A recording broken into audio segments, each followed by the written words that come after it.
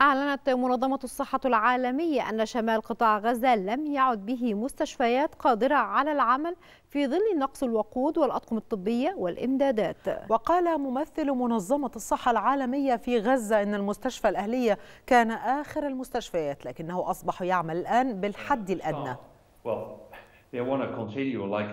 primary center, which of course is very sad. Uh,